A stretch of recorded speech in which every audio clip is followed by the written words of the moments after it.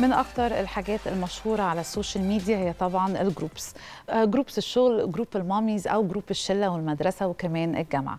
ولكن يا ترى كم حد فينا فكر إن هو يستغل ال groups دي في إن هو يعمل بيها عمل خير مستمر عمل يفيد ناس كتير ويكون ليه دور مهم في الخدمة المجتمعية.